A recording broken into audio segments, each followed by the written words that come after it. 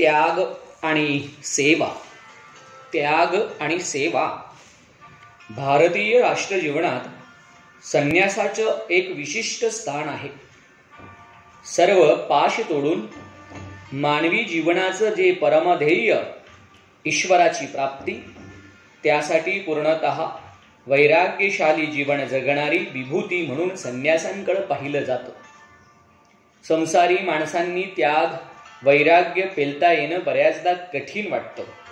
त्यामुळेच तर निसंघ संन्यासी त्यांच्यासाठी मोठा श्रद्धेचा विषय असतो.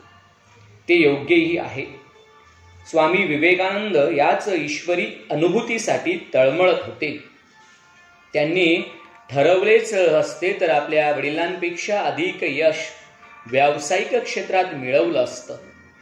दत्त घराणाचं वैभव आणि कीर्ती सहजपणाने स्वामीजींनी गगनाला भिळवली असते. पण हे सहज शक्य आयुष्य सोडून ते कंठ काकीर्ण मार्गावर गेले. ध्यास ईश्वर प्राप्तीचाच होता. त्यासाठीच नरेंद्रनाथांनी गुरुदेव रामकृष्णांचा अनुघर मिळवला. आणि गुरुदेवांच्या महासमाधीनंतर विधिवत संन्यासही घेतला. आता फक्त ईश्वर. संन्यास घेऊन ते परिव्राजक बनून भारत भ्रमणास निघाले. स्वतःचा घर प्रपंच सोडून वैराग्य पथावर चालू लागले. त्याच वेळी नियतीनं एक वेगळेच नाट्य रचलं. संहिता तयार केली. नायकाचा शोध नियती घेत होती. आपल्याला ठाऊक नाही. पण कित्येक श्रेष्ठांच्या ऑडिशन्स नियतीने घेतल्याही असतील पण तिचा हा नायक शोध स्वामीजींपाशी थांबला. जे आणि जसं हवं ते तसेच्या तसे स्वामीजींमध्ये तिला सापडलं. स्वतःचा प्रपंच नको म्हणून निघालास काय? पण तुझ्यासारख्या सर्वोत्तमास न वरता कसे सोडता येईल? तुला प्रपंच करायचा आहे. चार दोन खोल्या आणि पाच सात माणसांचा नव्हे. तर संपूर्ण राष्ट्राचा प्रपंच तुला करायचा आहे. नियती स्वतःशीच बोलली. आसक्त जीवाला भुरळ पाळणे सोपे असते. पद पैसा प्रतिष्ठा याने तो चमकून जातो. सौंदर्य आणि सुडोलपणाचा तर तो वेळाच होतो ख्याली खुशाली दिसली की बस रे बस. स्वामीजींसारख्या अनासक्ताला असल्या जाळ्यात पकडून प्रपंचाला बांधणं शक्य नव्हतं. म्हणूनच म्हणूनच नियतीनं त्यांना सर्वत्र अज्ञान दाखवलं शोषण दाखवलं दैन्य आणि विघटना दाखवली.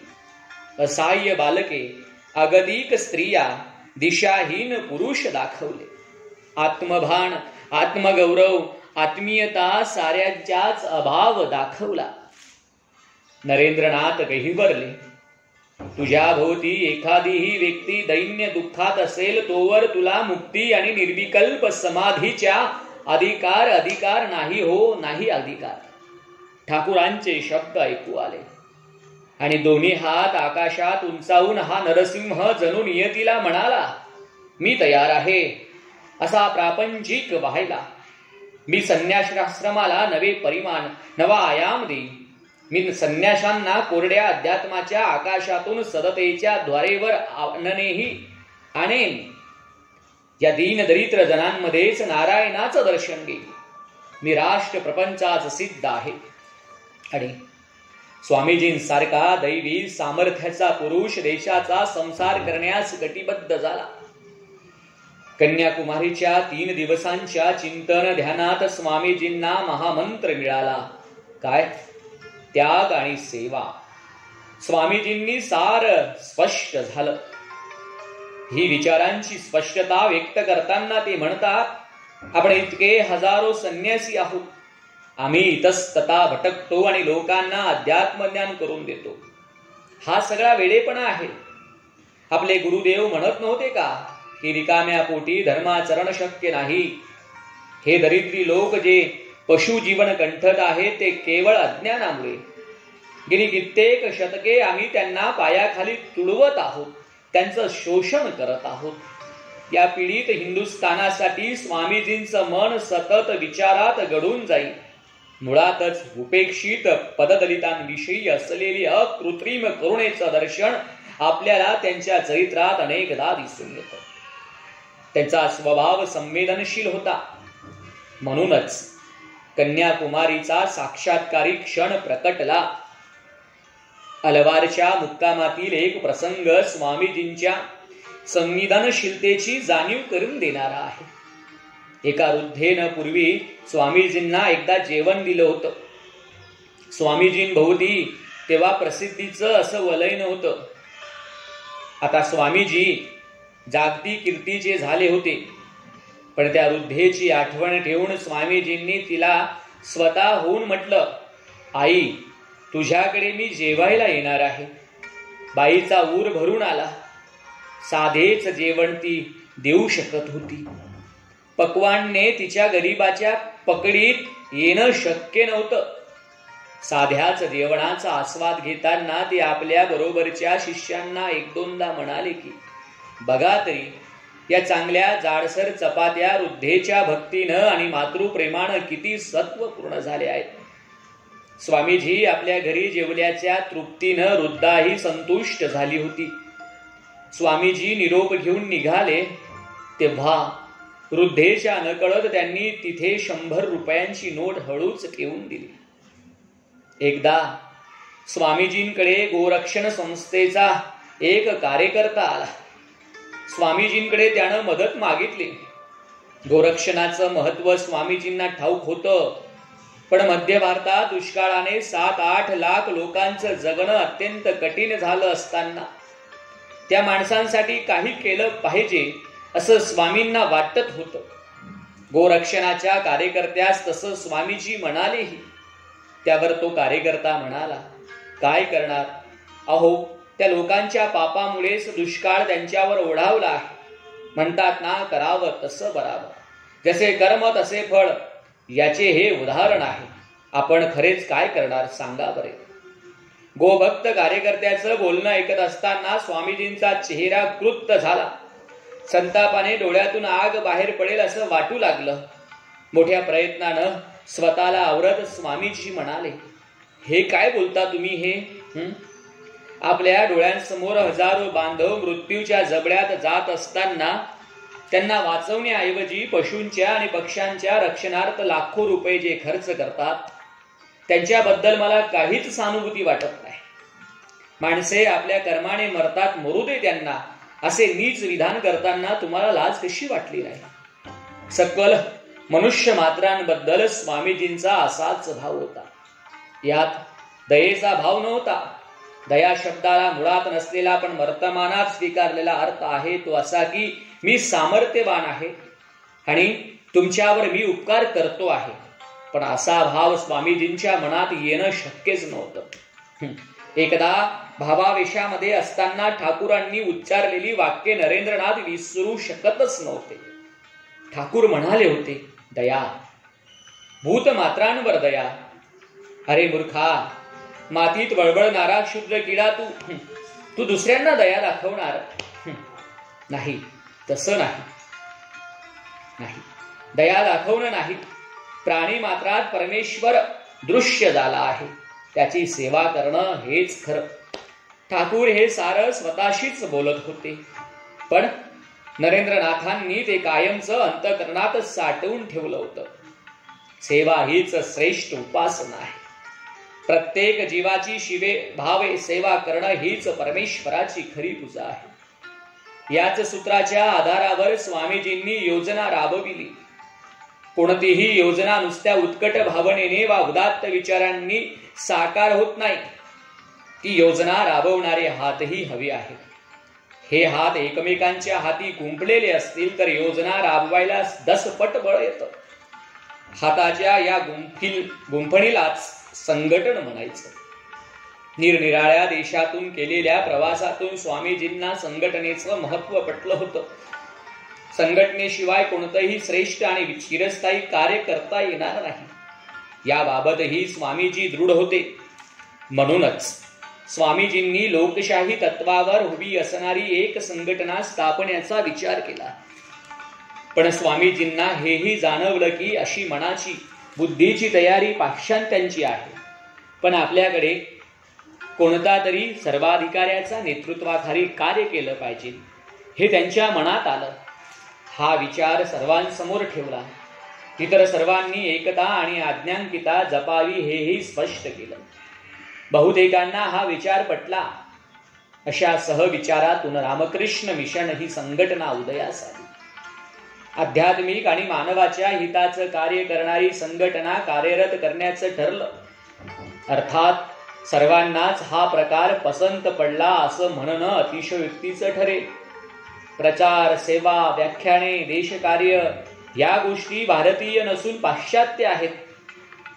पण रामकृष्णांच्या विचारांशी विसंगत आहेत असे आक्षेप घेतले गेले. तीव्र विरोधही व्यक्त झाला. स्वामीजी आवेशाने म्हणाले श्रीरामकृष्णांना तुमच्या कोंडीमध्ये बंद करून ठेवू इच्छिता काय? मी ही कोंडी फोडणार आणि ठाकूरांच्या कल्पनांचा जगभर प्रसार करणार. हे जग नाना प्रकारच्या पंथोन पंथांनी आधीच भरलेलं आहे. त्यात एका नव्या पंथाची भर टाकावी यासाठी माझा जन्म झालेला नाही. बोलता बोलता स्वामीजींचा आवाज चढला.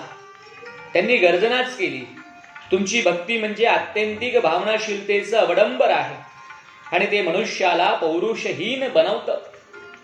तुम्ही म्हणता तसेच असेल तर राम राम कोण तुमच्या रामकृष्णांची पर्वा करतो? तुमच्या भक्तीची आणि मुक्तीची तरी कोणी पर्वा करतोय? तामसामध्ये पुरेपूर बुडालेल्या माझ्या देश बांधवांना जागे करून कर्मयोगाच्या निष्ठेने त्यांच्यात स्फूर्ती उत्पन्न करून त्यांना स्वतःच्या पायावर उभा करू शकलो तर त्यासाठी हजारो वेळा हो हजारो वेळा नरक यातना भोगायला देखील मी आनंदानं तयार आहे. स्वामीजींचा कंठ बोलता बोलता अवरुद्ध झाला. त्यांचा देह कंपायमान झाला. डोळ्यातून अनवरत अश्रुधारा वाहू लागल्या. इतकी तीव्र आणि प्रामाणिक अशी जगोद्धाराची भावना स्वामीजींची होती. तिचा परिणाम झाला नसता तरच नबल आहे. मग रामकृष्ण मठ व रामकृष्ण मिशन म्हणजे संन्याशांच्या राष्ट्र प्रपंचाची प्रचितीच म्हटलं पाहिजे. आजही आजही हा प्रपंच सुरू आहे. आणि स्वतःच्या मुक्तीची साधना सकल जनांच्या उत्थानाशी जोडून आजही उच्च विद्या विभूषित अनेक संन्यासी अविरत सेवा यज्ञ करीत आहेत. मिशनद्वारा त्यावेळी आणि आजही मोठी कार्य सुरू आहेत. दरिद्री नारायणाची ही महापूजा भारतीय अध्यात्माचे विलोभनीय अंग आहे. दुष्काळात सतत परिश्रम पूर्व साह्य गोरगरिबांना अन्नदान. रुग्ण शुश्रूषा. रोगराईत नगर स्वच्छता आणि आरोग्य रक्षण. रुग्णालय. अनाथ बाल बालिकाश्रम. शिक्षणाचा प्रचार प्रसार. युवकांमध्ये देशभक्ती सेवाभाव आणि अनुशासन निर्माण करणारे उपक्रम सुरू आहेत. रामकृष्ण मठांमध्ये बौद्धिक आणि आध्यात्मिक आयुष्यक्रम आचरणारे शेकडो संन्यासी आधुनिक जीवनाची कौशल्येही आत्मसात करून घेत आहेत. मठाचे संन्यासी स्वामी विवेकानंदांनी घालून दिलेल्या प्रणालीतून समाजोद्धाराचं कार्य आजही करीत आहे स्वामीजींचं सेवेचं चिंतन आणि सेवा पाठाची तळमळ आजही तळपत्या सूर्यासारखी आपले अपाऱ्यासारख्या अनेकांचे मार्ग प्रकाशित करीत आहे. अज्ञानात आणि दारिद्र्यात बुडालेल्यांच्या बद्दल स्वामीजींनी प्रेमभाव निर्माण केला. ज्याचं हृदय दुःखार्थाच्या दुःखाने विरघडतं त्यालाच मी महात्मा समजतो. बाकी सर्व दुरात्मे आहेत असा स्वामीजींचा अत्यंत स्पष्ट अभिप्राय होता. याबाबतची स्वामीजींची धारणा काय होती हे जाणून घेतले तर आपलं बाहू स्फुरण पावतात. स्वामीजींचे विचार तरुण सदैव तरुणच आहेत. तरुण ध्येयाप्रती समर्पित असतो आणि यशापयश मान अपमान पुरस्कार वा तिरस्कार याप्रती बेफिकीरच असतो. काहीही साध्य न होता कोणास माहीत न होता आम्हाला मृत्यू येईल तर खुशाल येऊ त्याबद्दल कोणाला शोक वाटणार नाही. त्याची करुणाही येणार नाही. ठीक न येऊ तथापि आमच्या विचारातील प्रत्येक धागा जिवंतपणे काम करेल. जवळच्या किंवा दूरच्या भविष्य काळात तो प्रभावी ठरणारच हेही निसंशय. जोपर्यंत कोट्यावधी लोक भूक आणि अज्ञान यात तळपळत आहेत तोपर्यंत त्यांच्या जीवावर शिक्षण घेऊन त्यांच्यासाठी यत्किंचितही कार्य करण्यास तयार नसलेला प्रत्येक मनुष्य मी विश्वासघातकी समजतो. यापेक्षा तारुण्य वेगळं काय असते? असे तारुण्य पेलणारे युवक युवती उभं राहणं तत्पर होणं ही आजची गरज आहे. खरे तरुण हा चिंतन गोवर्धन उचलतील. एकोणावीसशे एकच्या अखेरीचा काळ. स्वामीजींची प्रकृती ढासळलेली होती. मठाच्या आवारांमध्ये बांधकाम करणाऱ्या संथाळ जातीच्या मजुरांना जेवायला घालावं असं स्वामीजींच्या मनात आलं. सन्मानपूर्वक पंगत बसवली गेली. स्वादिष्ट पक्वान्ने केली होती. स्वामीजी स्वतः सर्वत्र लक्ष देत होते. खास करून वाडपावर तर अधिकच ध्यान देऊन होते. तृप्ततापूर्वक भोजने आटोपली. स्वामीजी संताळांना म्हणाले आज मी नारायणाला माझ्या घरी जेवायला घातलं. तुम्ही सर्व नारायण आहात.